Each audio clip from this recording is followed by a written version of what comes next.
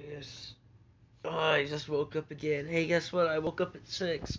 Fuck yeah, let's go. Another day, another good wake up time.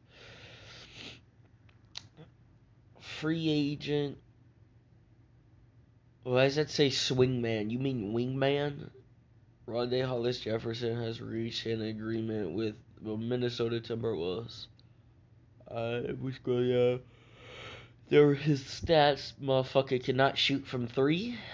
And is not a good free throw shooter. Other than that, it's kind of decent. Wish he could pass the ball better, but it is what it is. Decent score for the minutes he got. Um, yeah, maybe if he works on his three point shot, people are actually look at him and be like, oh, you know what, he's kind of decent now. But, you know, he's never really been big on people's like radar back in the day.